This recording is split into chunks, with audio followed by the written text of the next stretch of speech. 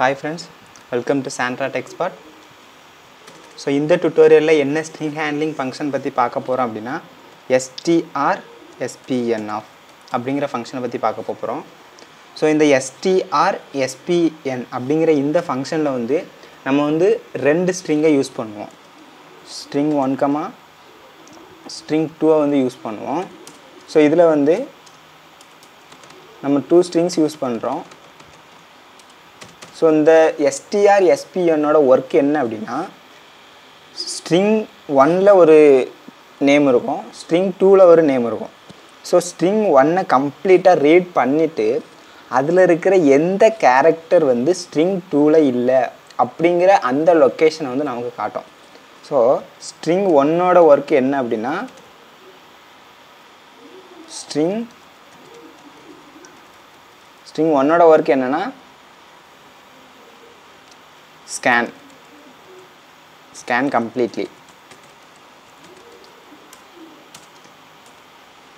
so string one வந்து கம்ப்ளீட்டாக scan பண்ணுவோம் ஃபஸ்ட்டு அடுத்து ஸ்ட்ரிங் டூவில் வந்து என்ன பண்ணணும் அப்படின்னா ஸ்ட்ரிங் டூவில் வந்து என்ன ஆகும் அப்படின்னா செக் த கேரக்டர்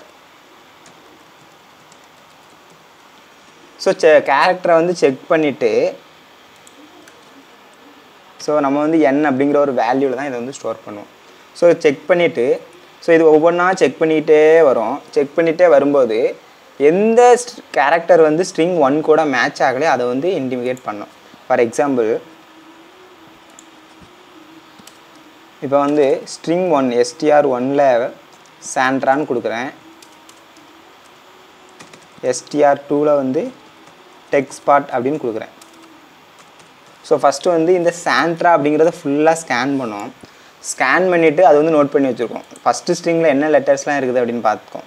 எஸ்ஏஎன்டிஆர்ஏ ஸோ அந்த லெட்டர்ஸ்லாம் இருக்குது அப்படின்னு பார்க்கும் பார்த்துட்டு எஸ்டிஆர் டூ கூட இதை வந்து மேட்ச் பண்ணி பார்க்கும் ஸோ எஸ்டிஆர் டூவில் ஃபஸ்ட்டு எஸ்ஸை வந்து இந்த டெக்ஸ்ட் பார்ட் கூட மேட்ச் பண்ணி பார்க்கும் ஸோ எஸ் வந்து இந்த டெக்ஸ்ட் பார்ட்டில் எங்கேயாச்சும் இருக்குதா அப்படின்னு பார்க்கணும். ஸோ எஸ் வந்து இருக்குது. ஓகே ஸோ ஏ எங்கேயாவது இருக்குதான்னு பார்க்கும் இதில் வந்து ஏ வந்து இந்த டெக்ஸ்ட் பார்ட் அப்படிங்கிற இந்த ஸ்ட்ரிங்கில் வந்து இல்லை. ஸோ ஏ எத்தனாவது பொசிஷனில் இருக்குது அப்படிங்கிறத வந்து ரிட்டர்ன் பண்ணணும். நம்ம இன்னொன்று நல்லா தெரிஞ்சுக்கணும். இப்போ இதில் பார்த்தோம்னா ரெண்டு ஏ இருக்குது.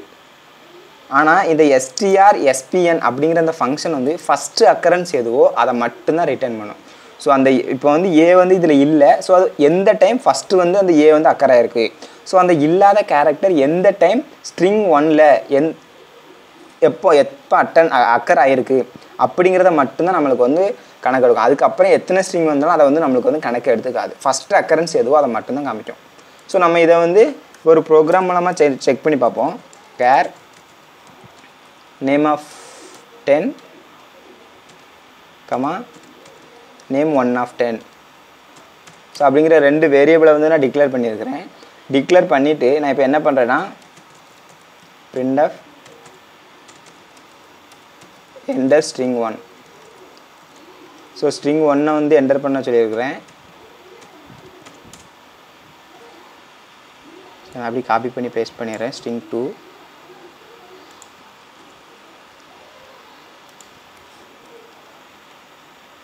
so gets of name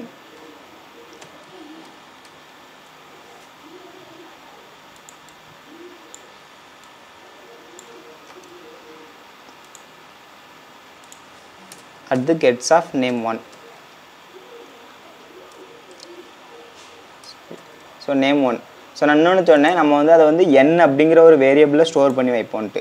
so அந்த வேரியபிள் வந்து கண்டிப்பாக என்னங்கிற வேரியபிள் தான் இருக்கணும் அப்படின்னு இல்லை. நம்ம விருப்பப்படி ஒரு இன்டிஜர் வேரியபிள் எதை வேணாலும் ஸ்டோர் பண்ணிக்கலாம். ஸோ நான் இதில் வந்து என் இன்ட்டு என் அப்படிங்கிற ஒரு இன்டிஜர் வேரியபிள் வந்து டிக்ளேர் பண்ணுறேன் ஸோ நான் இப்போ என்ன பண்ணுறேன் அப்படின்னா அடுத்து வந்து இந்த இதை வந்து இம்ப்ளிமெண்ட் பண்ணுறேன் n equal to STR SPN of STR sorry name comma name one so இப்போ வந்து அந்த ஆப்ரேஷன் நடக்குது. ஸோ இது நடந்ததுக்கு அப்புறம் இந்த ரெண்டையும் வந்து செக் பண்ணி பார்த்து அந்த வேல்யூவை வந்து எண்ணில் ஸ்டோர் ஆகிருக்கு ஸோ ஸ்டோர் ஆனதுக்கப்புறம் நம்ம என்ன பண்ணணும்? அதை பிரிண்ட் பண்ணணும். So print of slash n the location is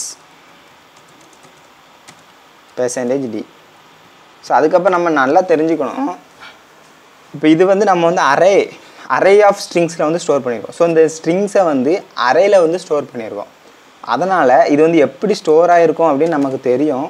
இருந்தாலும் நான் உங்களுக்கு ஒரு வாட்டி ஞாபகப்படுத்துகிறேன் ஏஎஃப் ஜீரோ சாரி ஒரு எக்ஸாம்பிளுக்கு நம்ம இப்போ ஏ நேம் அப்படிங்கிற வேரியபிள் எடுத்துக்கிட்டோம்னா name of zero name of one etcetera up to name of nine வரைக்கும் ஸ்டோர் ஆகிருக்கும் பட் இப்போ நம்ம வந்து லொக்கேஷனை பிரிண்ட் பண்ண சொல்கிறோம் இப்போ நான் வெறுமனையாக அந்த எண்ணுங்கிற வேரியப் எண்ணுங்கிறது அப்படியே கொடுக்கன்னு வச்சுக்கோங்களேன். என்ன ஆகும் அப்படின்னா சப்போஸ் நம்ம ரெண்டு ஸ்ட்ரிங் என்டர் பண்ணுறோம் அந்த ரெண்டு ஸ்ட்ரிங் என்டர் பண்ணுறது ஃபஸ்ட்டு இடத்துலே வந்து நமக்கு வந்து மேட்ச் ஆயிட்டு.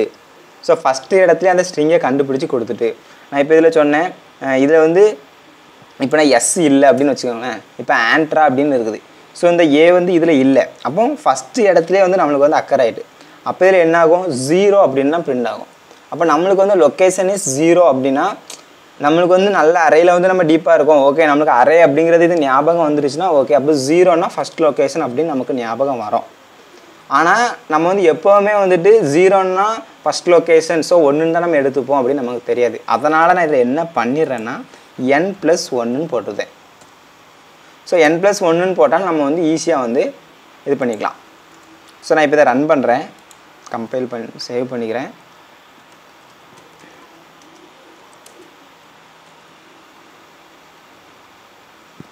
டன் ரன் பண்ணுறேன் ஸோ நான் இதில் வந்து செகண்ட் ரோ லொக்கேஷன் ரிட்டர்ன் பண்ணோம் அப்படின்னு சொல்லியிருந்தேன். ஏன்னா ஏ தான் இதில் இல்லை. நம்ம செக் பண்ணி பார்ப்போம். சாண்ட்ரா டெக்ஸ்பாட் ஸோ பார்த்தீங்கன்னா the location is two so second லொக்கேஷனில் இருக்கிறத வந்து ரிட்டர்ன் பண்ணுது அப்படின்னு நம்ம நம்மளுக்கு வந்து சொல்லுது. ஸோ இப்போ வந்து உங்களுக்கு புரிஞ்சிருக்கும். ஃபஸ்ட்டு வந்து இந்த சாண்ட்ரா அப்படிங்கிற இந்த ஸ்ட்ரிங்கை ஸ்கேன் பண்ணிவிட்டு இது கூட ஒவ்வொன்றா செக் பண்ணி செக் பண்ணி பார்க்கும் நம்ம வந்து வேறு ஏதாச்சும் ஒரு எக்ஸாம்பிள் வந்து செக் பண்ணி பார்க்கலாம். இப்போ வந்து நான் வந்து ஃபஸ்ட்டு ப்ரோக்ராம் வந்து என்ன கொடுக்குறேன் அப்படின்னா ஜாவா அப்படின்னு கொடுக்குறேன். ரெண்டாவது இது என்ன கொடுக்குறேன்னா ப்ரோக்ராமிங் அப்படின்னு கொடுக்குறேன். ஸோ இப்போ பார்த்தீங்கன்னா அந்த லொக்கேஷன் இஸ் ஒன் அப்படின்னு கொடுத்துருக்குது. ஏன்னா ஃபஸ்ட்டு வந்து ஜாவாவை கம்ப்ளீட்டாக ரீட் பண்ணுது. ரீட் பண்ணிவிட்டு இந்த ப்ரோக்ராமிங்கை வந்து செக் பண்ணி பார்க்குது ஸோ இந்த ஜேங்கிறது வந்து இந்த ப்ரோக்ராமிங்கில் இருக்கான்னு பார்க்குது இல்லை. ஸோ ஒன்றுன்னு காமிச்சிருது. ஸோ நம்ம இந்த இடத்துல இப்போ நான் என் ப்ளஸ் ஒன்று போடாமல் வெறுமனையாக என் அப்படின்னு போட்டிருந்தேன் அப்படின்னா என்ன ஆகும்? பாருங்கள் அதே ஜாவா ப்ரோக்ராமிங் போடுறேன். ஜாவா ப்ரோக்ராமிங் ஸோ பார்த்தீங்கன்னா த லொக்கேஷன் இஸ் ஜீரோ அப்படின்னு காமிக்குது. ஸோ நம்ம இந்த லொக்கேஷன் இஸ் ஜீரோன்னு வரும்போது நம்மளால் ஈஸியாக ஐடென்டிஃபை பண்ண முடியாது. நம்ம அப்படி முடியாத ஒரு சூழ்நிலையில் இருக்கிறோம் அப்படின்னா நம்ம வந்து என் ப்ளஸ் ஒன் போட்டோம்னா கரெக்டான அந்த ஜீரோனா ஒன்றுன்னு காமிச்சிடும் ஸோ ஃபஸ்ட் லொக்கேஷனில் இருக்குது அப்படிங்கும் பட்சத்தில் நம்ம வந்து இதில் வந்து தெரிஞ்சிடும் ஸோ ஜாவாவில் வந்து ஃபஸ்ட் லெட்டர் வந்து இது கூட மேட்ச் ஆகலை அப்படின்னு சொல்லிடும் ஸோ இப்போ ஜீரோன்னு வரும்போது ஜாவா ஒன்லேருந்து தானே ஸ்டார்ட் ஆகுது. அப்போ ஜீரோ எங்கேருந்து வந்துச்சுன்னு நம்மளுக்கு ஒரு கன்ஃபியூஸ் வந்துடும் ஸோ அதுக்காண்டி தான் நான் என் ப்ளஸ் ஒன் போட்டேன். ஓகேங்களா?